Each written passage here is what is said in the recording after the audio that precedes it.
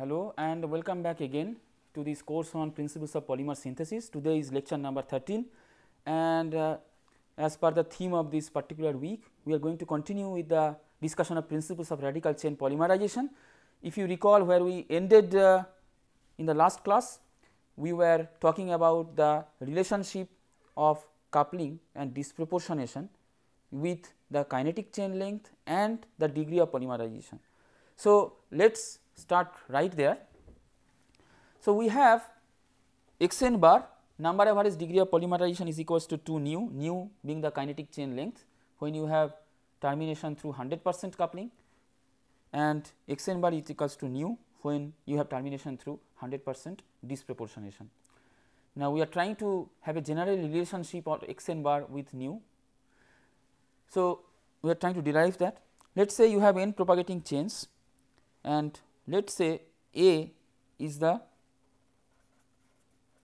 fraction of termination that happens through coupling.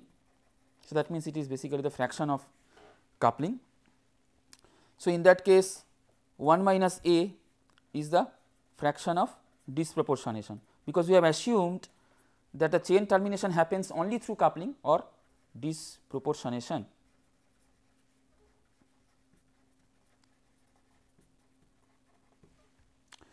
So, if A is the fraction of coupling and you have n propagating chains, then basically what you have is a n number of initiator fragments.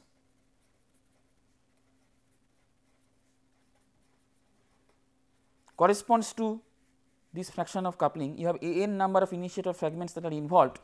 And how many number of polymer molecules are being produced how many number of polymer molecules are being produced you basically have a n divided by 2 number of polymer molecules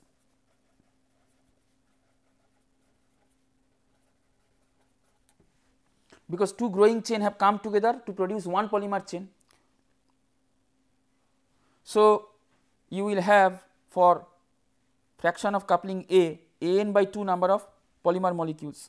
So, correspondingly if you look at the disproportionation, if you look at the disproportionation, then so 1 minus A is the fraction of disproportionation. So, correspondingly the number of initiator fragments that are involved is 1 minus A into n so, this is the number of number of initiator fragments and if you have two chains that are coming together and terminating through disproportionation then ultimately you will have two chains only left as the final dead polymer chains. So, then how many number of polymer chains are being produced? It is the same. So, number of polymers or polymer chains, polymer molecules. So, what is the average number of initiator fragment per polymer molecule because that is necessary in order to find out whether you have how much extent to how much extent you have coupling and to how much extent you have disproportionation. Because as I told you if you have the number average number of initiator fragments per polymer chain if it is 2 that would mean you have 100 percent coupling which is occurring for termination. So, termination is basically being affected by 100 percent coupling.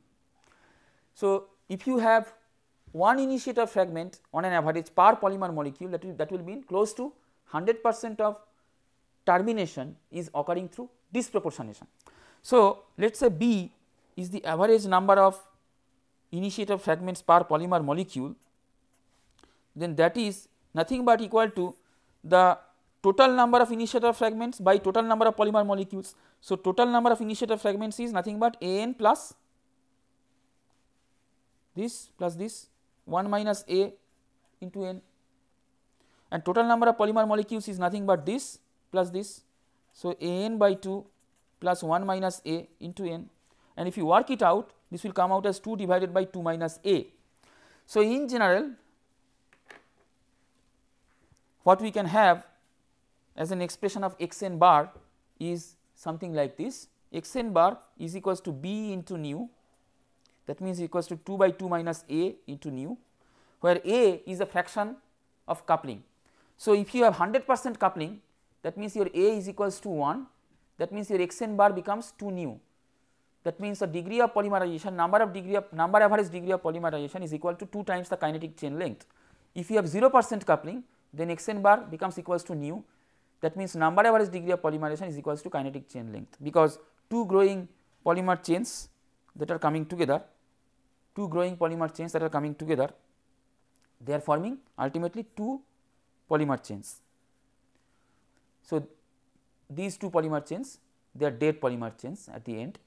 So, this is kinetic chain length nu. So, this has kinetic chain length nu. So, if you have 100 percent disproportionation then the polymer chain length basically is nu which is nothing but your degree of polymerization. And if you have 100 percent coupling then these two chains will come together and ultimately you will have a dead polymer chain which has a chain length which will be 2 nu which is nothing but your degree of polymerization that is the physical understanding and this is your general expression of x n bar here. So, now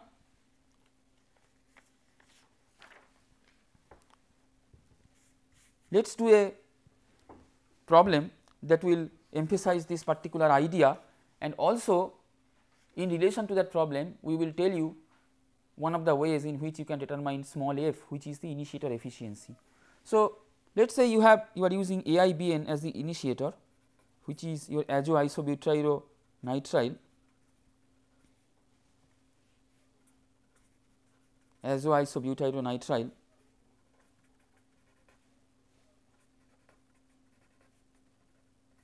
CH3 CH3 CN. So, when it dissociates how can you find out the small f the initiator efficiency for reactions involving AIBN. So, this nitrogen will be evolved when it dissociates. So, basically if you follow the evolution of nitrogen you can find out how many radicals have been produced. Now, correspondingly to this number of radicals whether you have created that many polymer chains or not. If you have created less number of polymer chains then correspondingly a small f value will be less than 1 and how do you find that out? You have to actually find out the number average molecular weight of the polymer. And then you can correlate these two things. If you know the number average degree of polymerization and correspondingly the number average molecular weight of the polymer then you know how many polymer chains basically have been created and how many radicals were actually produced also you already know from your initiator molecule from the evolution of nitrogen gas. So, you can correlate that and you can find out the small f value. So, let us say we have a problem something like this. We are taking styrene and you are polymerizing this and making polystyrene and you are using 14 C labeled AIBN as the initiator 14 C. So, you can actually follow. So, this is a radioactive isotope. So, you can follow how much of 14 C is in incorporated in the polymer. So, you know how much of AIBN is incorporated so on and so forth because that is necessary to find out the average number of initiator fragments per polymer molecule. So, now this is polymerized to a number average degree of polymerization of 1.52 into 10 to the power 4. So, I am just defining the problem using this particular initiator and the activity of AIBN activity of AIBN is uh, 9.81 into 10 to the power 7 counts per minute per mole in a scintillation counter. So, basically if you have a high energy particle that are actually also being created say in a radioactive uh, element. So, these high energy particles will bombard in this machine and correspondingly uh, a current might be generated and you can find out uh, the energy. So, that is how the activity is measured here because it has radioactive carbon here. So, this many counts per minute per mole and another information is given in this process the polystyrene that you have produced 3.22 grams of polystyrene that is produced. So, 3.22 gram of that has an activity of 203 counts per minute in this counter. Of course, it will have an activity because this 14 C will be incorporated into the polymer because the initiator fragment that is initiating the polymer chain that is being incorporated into the polymer chain. So, it will have some 14 C. So, you have 203 counts per minute. So, the question is what is the mode of termination? If you have all this information, so the question will be what is the mode of termination. So, let us do the solution here. What is the x n bar that is the number average degree of polymerization for this particular process it is already given it is uh, 1.52 into 10 to the power 4. So, what is the molecular weight? Here comes the importance of molecular weight. What is the molecular weight because this is required to be known in order to find out the mechanism of termination whether it is going through coupling or whether it is going to disproportionation. This is also required to find out small f that is the efficiency of the uh, initiator. So, this m n bar is x n bar into m naught. m naught is the average molecular weight of the structural unit. So, x n bar is nothing but 1.52 into 10 to the power 4 and when you are looking at polystyrene you have so you have C 8 H 8 and you can find out that your molecular weight average molecular weight per structural unit, unit is 104 and if you do the calculation here it, it comes out as 158 point so this is into 104 158.08 into 10 to the power 4 because I have worked this out already, but I am trying to explain the principle to you. So, this is the Mn bar for the polystyrene. Now, it is also told that 3.22 grams of polystyrene has this much activity. So, what is the number of moles for 3.22 grams of polystyrene? So, the number of moles will be nothing but 3.22 divided by 158.08 into 10 to the power 4 which comes out as 2.02 into 10 to the power minus 6 moles. So, these many moles have an activity of 203 counts per minute. So, what is the activity per mole of polystyrene? What is the activity per mole of polystyrene? So, activity per mole is nothing but 203 divided by 2.02 into 10 to the power minus 6. So, it will be 100.5 into 10 to the power 6 counts per mole.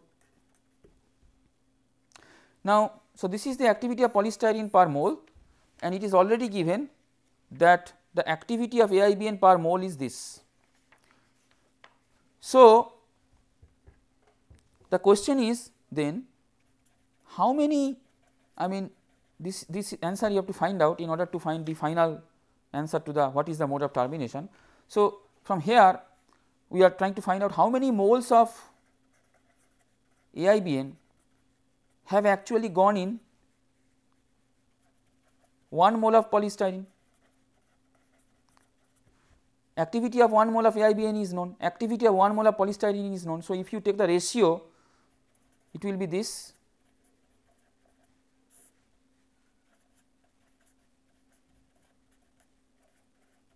1. So, that means per polystyrene polymer molecule on an average you have so uh, per polystyrene polymer molecule on an average you have one molecule of AIBN or per mole of polystyrene on an average you have one mole of AIBN which means now one molecule of AIBN will actually give two radicals. So, that means one mole of AIBN or one molecule of AIBN is equivalent to having. So, having one molecule of AIBN per polystyrene molecule is equivalent to having two initiator fragments per polymer molecule. because one molecule of AIBN actually produces two initiator fragments. So, here that means per polystyrene molecule you have two initiator fragments. So, which nothing but which is nothing but an indication that you have the termination that is happening through coupling. So, that is the answer to your problem.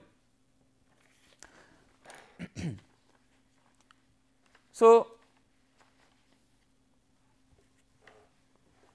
by doing this particular exercise we have now demonstrated that how you can find out experimentally that what is the extent of coupling, what is the extent of disproportionation assuming that there is no other way in which this growing chain is being terminated. And uh, I have told you something related to the efficiency of the initiator and overall I have told you that if you know the number average molecular weight of your polymer. So, and correspondingly you know how many uh, radicals have been generated, we will do a problem related to that after. So, how many radicals have been generated from the initiator. So, you can take these two things into account and you can find out the efficiency of the initiator. So, that part that problem we will do after after we have finished the full exercise of discussing uh, you know different termination modes of of uh, chain growth reactions because coupling and disproportionation they are not the only two termination modes available there are other termination modes that are also available for chain transfer reactions. Okay. For uh, chain growth reactions excuse me. So, I was talking about chain transfer because now is the time I am going to come to the concept of chain transfer. Because when we say chain transfer, we basically say that this is a process through which also you can have termination of growing chains other than your coupling and disproportionation pathway. So, by definition chain transfer means you have a growing chain and you have a reactive end that end if you are looking at you will destroy that growing radical species. So, that means at the end you have a dead polymer chain where you do not have any radical, but that radical is being transferred to another species that has reacted with this growing radical in itself. So, now the chain will grow from the other species that is the process of chain transfer. I have given you one example before where I was talking about initiator efficiency say you, you had a benzoyl peroxide that reacted with Mn dot and then benzoyl peroxide one unit went and attached to Mn dot and the radical was transferred to the benzoyl part. So, ultimately a benzoyl radical was produced. So, ultimately it is a transfer of the chain from the growing polymer chain which was Mn dot to benzoyl radical which actually can grow the polymer chain again, but it is a chain transfer reaction. So, this is a process through which you have actually terminated your growing chain. So, it was like this your Mn dot and you had benzoyl peroxide and you had this kind of process. So, basically this is also a chain transfer reaction because in this process you have terminated the growth of this chain and basically the chain the growth of the chain has been transferred. So, this radical has been transferred from, transferred from this growing chain to this particular species and this can actually initiate the growth of another chain. So, in general this is one particular example where an initiator is participating in chain transfer. So, in general what you can write down as a chain transfer reaction is like this, this is a propagating species and you have one substance say called X A which will transfer say a hydrogen or another atom to this growing radical and terminate this growing radical. So, that is called chain transfer process. So, this is your let us say you say this is a chain transfer agent or a component chain transfer compound.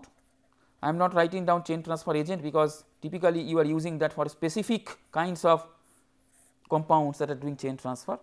So, Mn dot plus x a and then you have chain transfer rate constant as k T r, T r indicating transfer and you will have this x let us say this x is transferred to Mn this x could be hydrogen or some other atom and this radical is transferred to A it becomes A dot.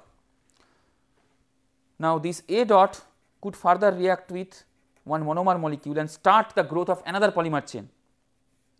So, rate constant is Ka and it starts the growth of another polymer chain. Or let us say you can say that this reinitiates the polymerization because it has stopped the polymerization it can reinitiate a polymerization this A dot. Now, these chain transfer reactions then they are like chain breaking reactions because they break a growing polymer chain they start another chain, but they have already broken a growing polymer chain. Now, several situations involving the relative values of K A, K transfer and Kp can be envisaged. Something that is very important for us is to consider this particular scenario where your rate constant for polymerization is much greater than rate constant for chain transfer. However, the rate constant for reinitiation of polymerization is close to the rate constant of propagation or polymerization. If that is so, then rate of polymerization remains unaffected.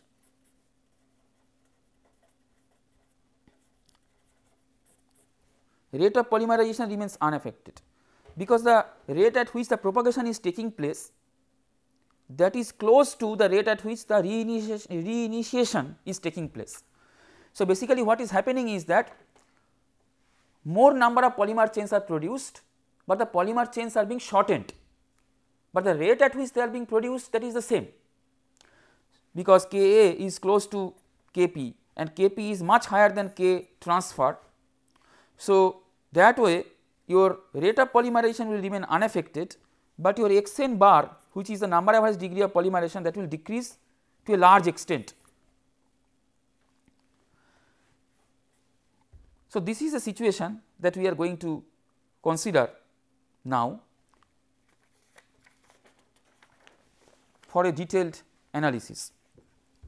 So, under this kind of condition your x n bar is no longer equal to 2 by 2 a into nu. This is the expression that we had derived before.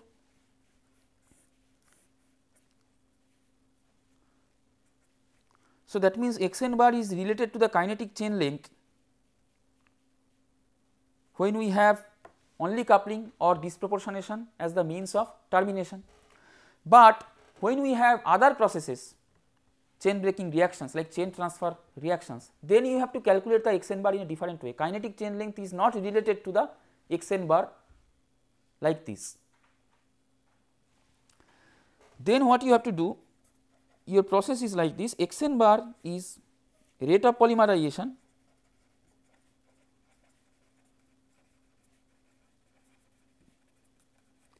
divided by sum of the rates of all chain breaking reactions. In this you can also consider your coupling and disproportionation as, as chain breaking reactions. So, that way your rate of polymerization is nothing but R p R p and sum of the rates of all the chain breaking reactions is. So, you know these two. So, nu is basically R p by R t it was R p by R t your kinetic chain length. So, if you are considering that particular situation then it was 2 divided by 2 minus a into Rp by Rt when you do not have. So, this relation was valid when you do not have any other process of chain breaking reaction other than coupling or, or uh, disproportionation.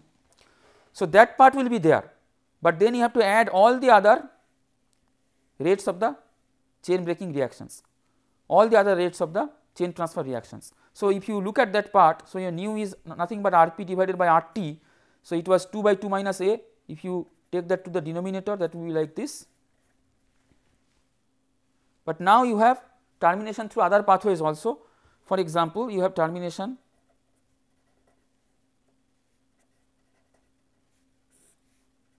by chain transfer to the monomer. It could have a termi termination by chain transfer to the monomer also. a growing polymer radical could react with a monomer and then the chain could be transferred to the monomer. Now, the monomer can grow the chain again, but this already growing chain has been stopped. So, monomer could participate in chain transfer. So, for monomer then this rate constant of transfer you are putting m just to tell you this is the rate constant of transfer and what is the rate of transfer reaction this kind of rate of transfer reaction rate of transfer of this kind of reaction.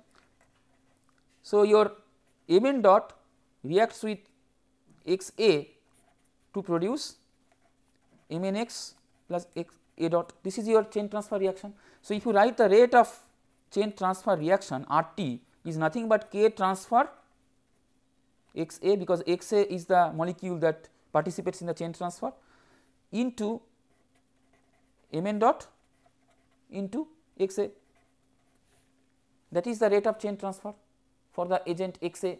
So, in this case m n dot is nothing but m dot all the radical concentrations. So, m dot into m.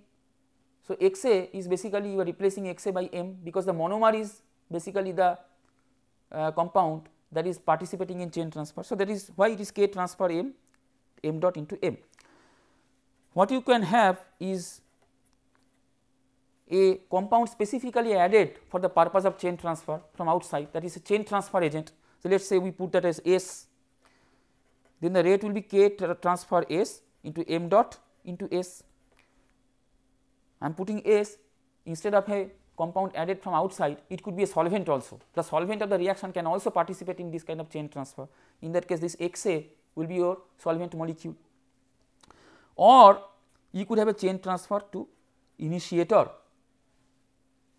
So, that will be m dot into i. Chain transfer to initiator an example we have already given here. This is an example of chain transfer to the initiator benzoyl peroxide.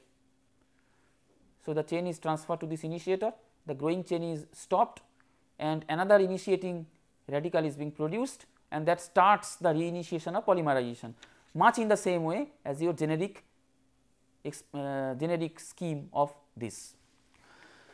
So, this is the whole expression then. Now, if you are looking at this particular expression let us try to simplify this of course, if you do not simplify some extra terms will come, but overall the concept will be the same. Let us say there is no process of termination through disproportionation. I mean one of the processes of termination we just remove. Let us say you have termination through only coupling as well as other chain transfer reactions because coupling and disproportionation they are basically not chain transfer reaction. A new radical is not being created, they are making dead polymer directly and nothing else. Chain transfer reaction are, is making dead polymer also, but it is creating another radical. So, that is the difference. So, between coupling and disproportionation let us say only coupling is occurring let us try to simplify this. So, then A equals to 1.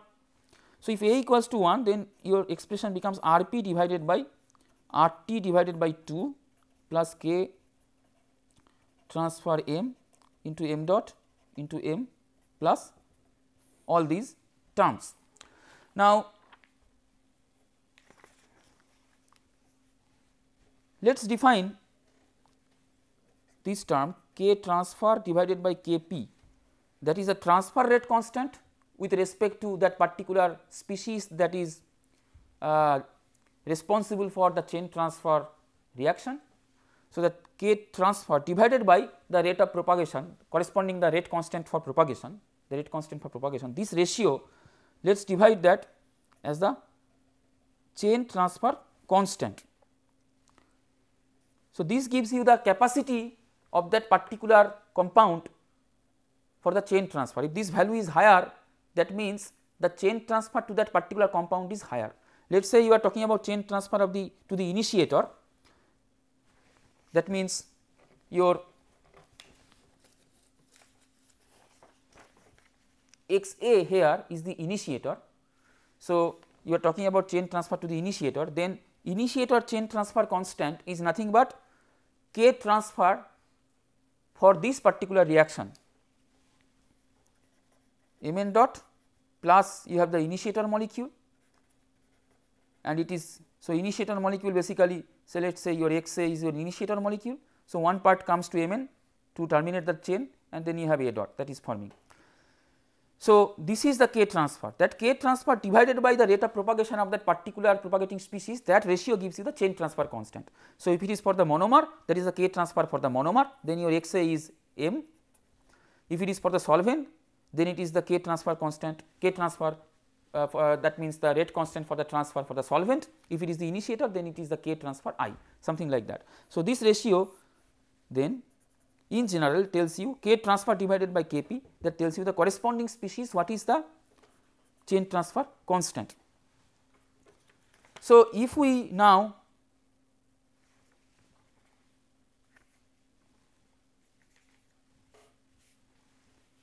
incorporate this particular term in this expression then what will happen? Your expression was this R p divided by R t by 2 so on and so forth. Now, if you incorporate this term here and let us say you take the inverse of that 1 divided by x n. So, then it will become R t divided by R p so on and so forth. Okay. So, that will be nothing but 1 divided by 1 divided by in fact the R t will go up. So, let us draw it like this. For the let us simplify it further. It will be R t divided by 2 R p. Because you know it was 2 R p divided by R t. So, you are taking the inverse of that. So, that will be R t divided by 2 R p. R t divided by 2 R p plus C m and let us also divide throughout by m dot into m. So, that this term will go and then you will have only k t r divided by k. So, it will be something like C m plus C s into s by m plus C i into i by m. So, you see here if you are taking an inverse of this then it will be R t divided by R p like this R t divided by R p. If you are taking the inverse of this it will be nothing but k transfer m into m dot into m divided by R p. Now R p R p is nothing but k p into m dot into m. So, that m dot into m will come here. So, m dot into m will cancel and that so it will be KTR by KP, KTR by KP, KTR by KP and here the M will not cancel. So, this M dot only goes. So, basically it is the inverse of that. So, it will be Cm plus Cs because Cs is nothing but K transfer divided by Kp and correspondingly this is S and this is I and you are actually dividing by M because that M is coming. So, this is a, a wrong paraphrase. So, you are not dividing by m, but the R p has already come in the denominator. So, that the expression if you put already you will get this final term. So, what we will do is that we will stop here and we will continue to explore this particular equation in the next class uh, in terms of how we can design the polymerization reaction to obtain a particular molecular weight. Because you already see in this particular equation you have this x n bar that is the number average molecular weight already incorporated and how this number average molecular weight is being affected by different kinds of chain transfer reactions. How it is affected by chain transfer to monomer, how it is affected by chain transfer to say solvent or a chain transfer agent because we are using that as substitutes to each other. We are putting S there, how it is affected by the uh, chain transfer to initiator. All these things can be quantified from this particular equation because x n bar is also related to all these different chain transfer constants and their corresponding concentrations. So, that is the importance of this equation. We will come to explore this equation more in the next class. Till then thank you and goodbye.